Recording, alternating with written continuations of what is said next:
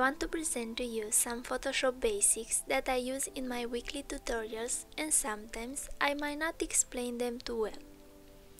So this one is for beginners, but intermediate Photoshoppers can find out some things too. If you want to open a photo, click on open, but if you want to create a new document, click on new. Here you will find a lot of options for photo, for print, for art and illustration. Choose one. Personally, I usually like to see the dimension in pixels. I will not go into depth with all the information over here because it's not that important. So just choose one and click on create.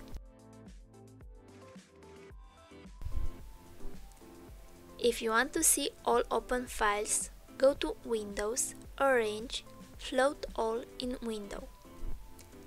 You can move them anywhere you want. Okay, so with the first tool, the move tool, you can move your photo over another file. Just like this, you drag it over the new layer. With rectangular marquee tool, you can select any part of your photo and with move tool you can move just that part. Rectangular marquee tool can help you make a rectangle shape, but first you need to make a new layer.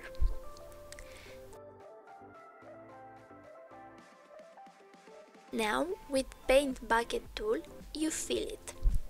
Now delete this step with Ctrl plus Z. To use elliptical marquee tool you first need to deselect the current select. Click right, choose deselect. Now let me show you another thing you can do with rectangular and elliptical marquee tool. Click right and choose select inverse. You can for example draw with brush tool around your original selection. I choose a simple brush to fill it faster.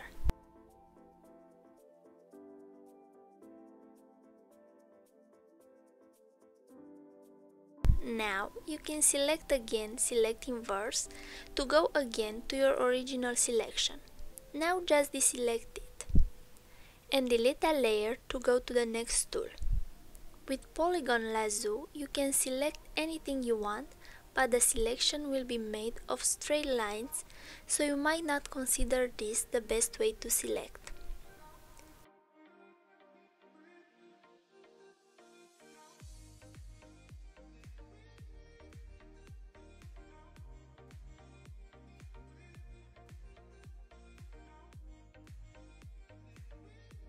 After that, you can move it anywhere you want.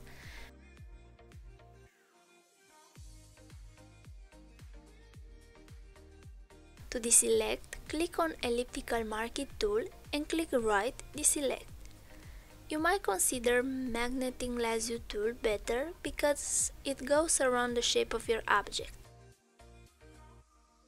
If your background is simple, this tool will work really well for you. I can say the same thing about quick selection. You need to have patience for this tool. To see details, choose Zoom tool and zoom in. You can select outside the shape of the body because you can unselect parts with quick selection with minus. See, the selection is better now.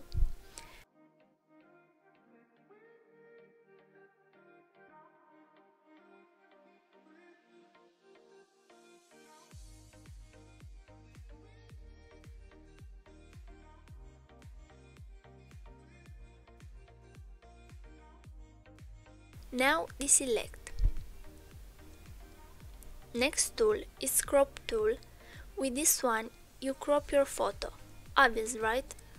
You select the part you want to crop and press enter on your keyboard. Eyedropper tool helps you select the specific color from your photo.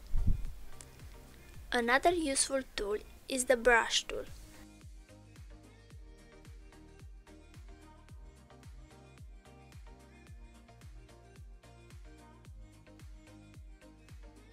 I would recommend to make a new layer because in this way what you draw with brush tool is separated from the photo and you can delete it anytime. If you want to make a light, just use the soft round brush, being white, and press anywhere you want. Make the opacity lower and move it anywhere you want. With erase tool, you can erase what you drew with brush tool or you can erase parts of your photo. I choose to erase the background. If you wanted to have a transparent background to be a PNG, leave it like this. But to see better the results, let's choose a color for background. I make a new layer and drag it under the photo in the layers section. With paint bucket tool, I fill it with yellow. Now you can see clear what I'm erasing.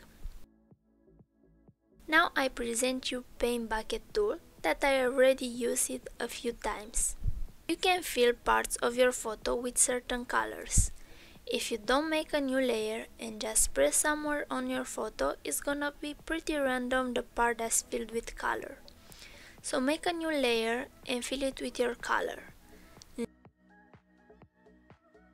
Next, the sharpen tool. Its name says what it's doing.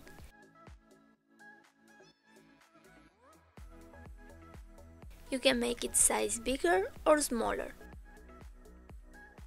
and even change its strength. Now the blur tool. Again, it's pretty obvious what it's doing.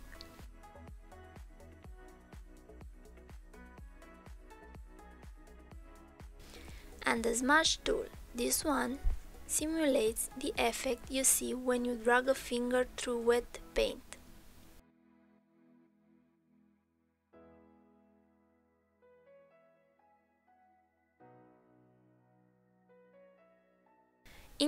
Designs, you might need some shapes. You can do them with ellipse tool, rectangle tool, polygon tool, custom shape tool. With ellipse tool, you can make circles. For fill, you can choose a color or none. It's the same for stroke.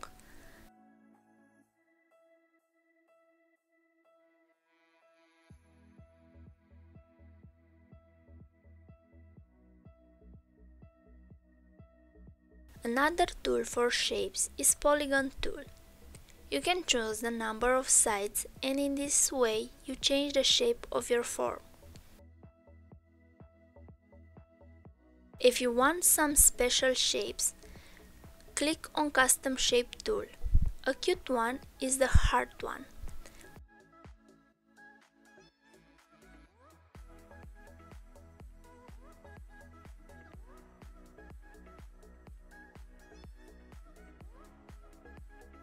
Also like the dog paw. You can fill them with color.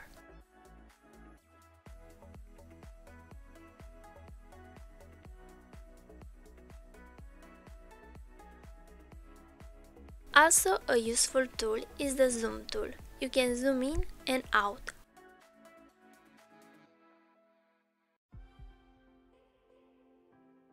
Or click right and choose fit to screen. Now let me show you the settings for text.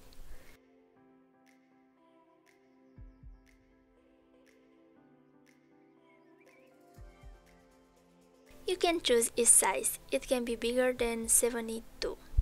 You just have to write it by yourself.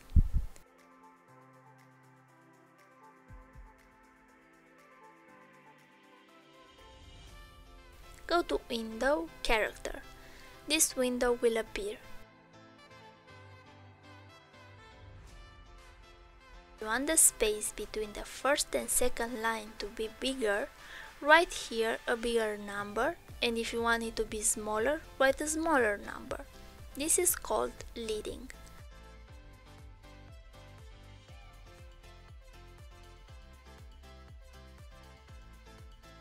If you want the space between the letters to be bigger or smaller, you have to change the numbers here.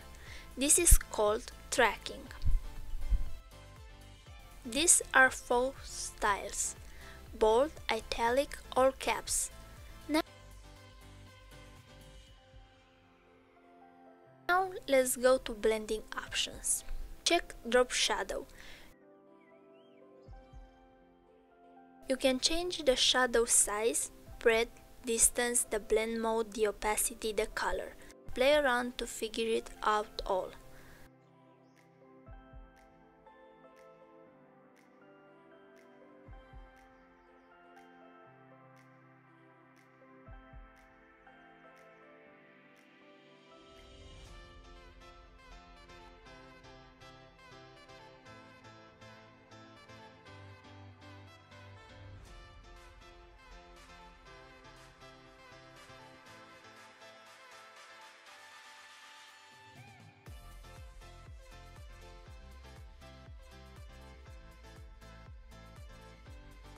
Another useful blending option is color overlay. This is a way you can change the color of your text. Another one is stroke. Here I usually change the size, the color and the position. I usually use inside.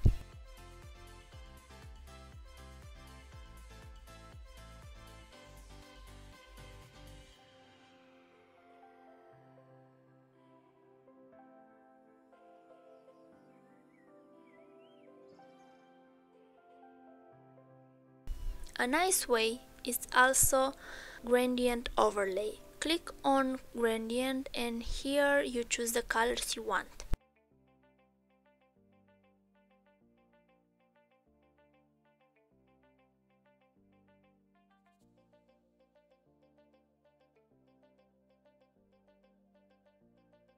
You might like pattern overlay as well.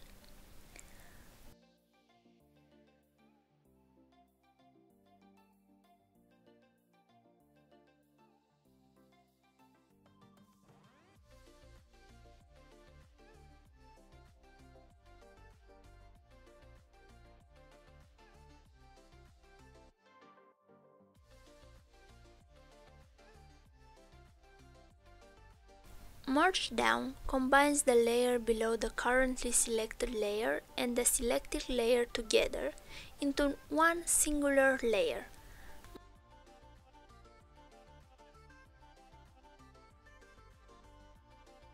Visible will merge all visible layers into one singular layer. You can make the opacity lower for your layers.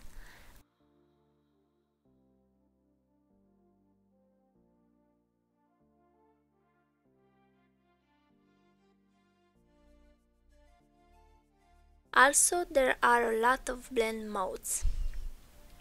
Working with blend modes, it's almost always an experimental process because it's nearly impossible to predict the results, so you just have to play around.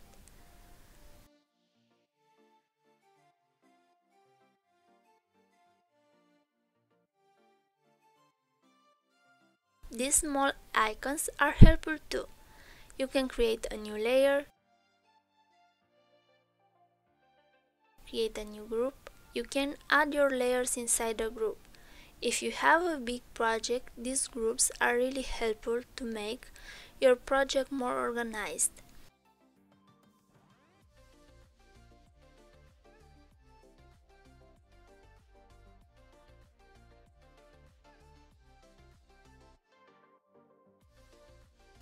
This icon helps you create new adjustment layers.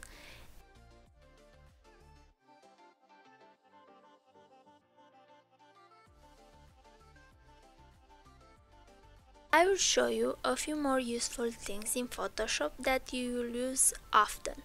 For example, adjustments from image.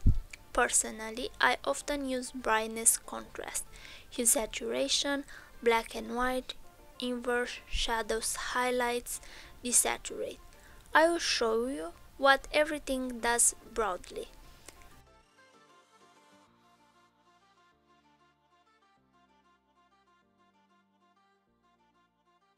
Brightness contrast.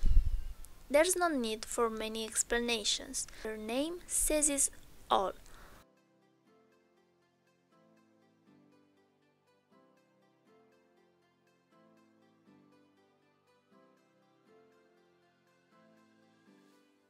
You can make the same adjustments going to layer, new adjustments layer.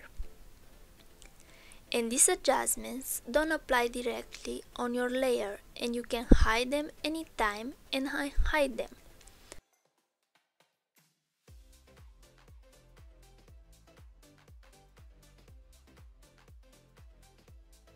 I will keep showing you what some adjustments do from image.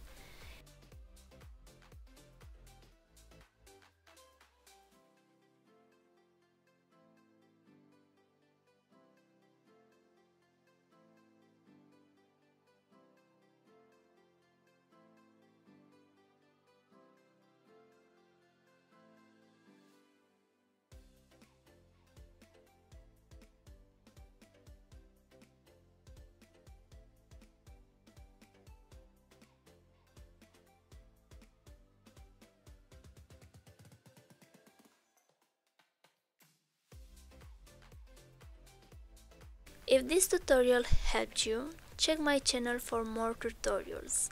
I believe the best way to learn a software is by doing small projects like the ones I teach you on my channel. So if you want to learn Photoshop, this is the right place to be. I will help you make your ideas come to life.